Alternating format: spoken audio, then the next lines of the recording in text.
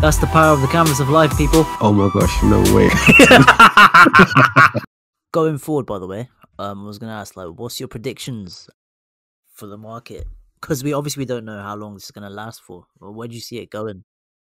Uh, what do you mean? In terms of like long term or or like um short term? Long term. Let's let actually let's let's do both. Let's tackle both. What, what do you think short term first Like, of all? short term, what's gonna happen is the market's gonna rally up on certain things. So like um so like on certain industries, the the market's gonna ri- like rally up on. So, for example, energy will will get will be fine. I think energy sector will be really will be really fine in like a few months. That that's gonna be really good because like um the reason why I say energy sector will be really good is because um basically what's happening. I use this um Saudi Arabia is the one that's suffering the most.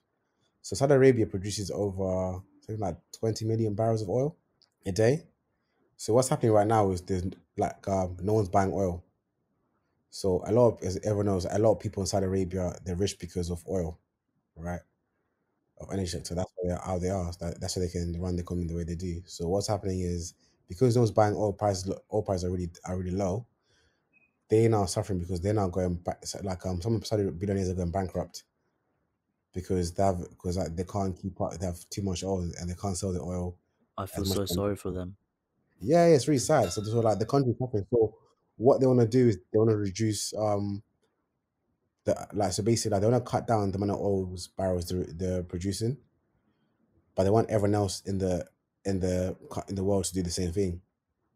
So so like everyone else does the same thing. That means the oil prices then go back up, and then so oil prices so like oil prices and energy sector kind of companies will, will go back to being stable, like going back up again. So that's a really good way the market's gonna go.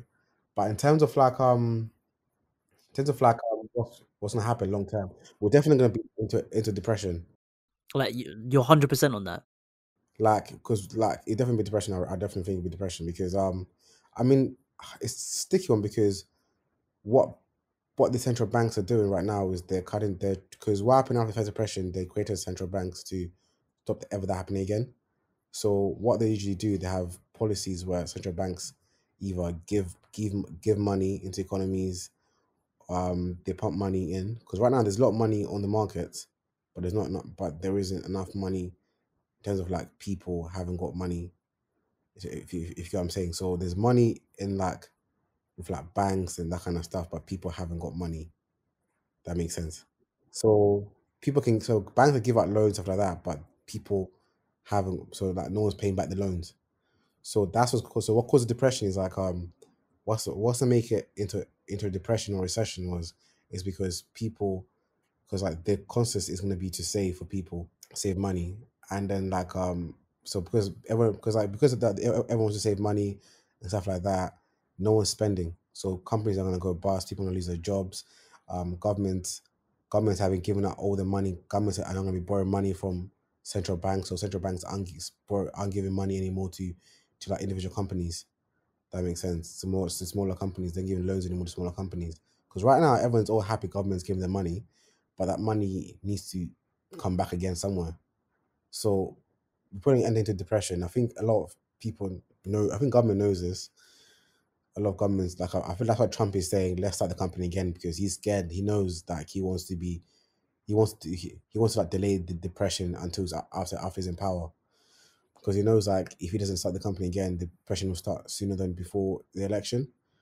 That's why he's pushing to start the country as soon as possible. But I definitely think like the next year or something, we'll definitely enter into depression. Like once everything is all settled down and stuff like that, because especially like with the two meter distancing rule they have of COVID, because like um because especially in England, they're asking business to be on half capacity. So how does, for example, a- a- a- like a club or whatever make money off, off half capacity? They don't. They're actually at a loss. If that makes sense. yes, it does. Yes. Yeah, do you know what I mean? So if that makes sense, they're Yeah. actually at a loss. That makes sense. So because they're actually at a loss and whatnot, they don't make any money. That means they they they go. But that's why right now they're trying to say let's cancel the two meter rule and do a one meter rule. But then they're saying that's not even enough still. So that they're, they're literally arguing about canceling the, the two meter rule in England because they're Mm, I did hear about that actually. Yeah.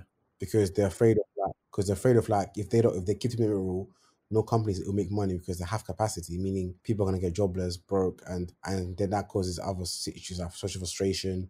As we're seeing right now, if all that the Black Lives Matter movement is social frustration people because people are getting what they need, so like, they're trying to avoid that quite a lot.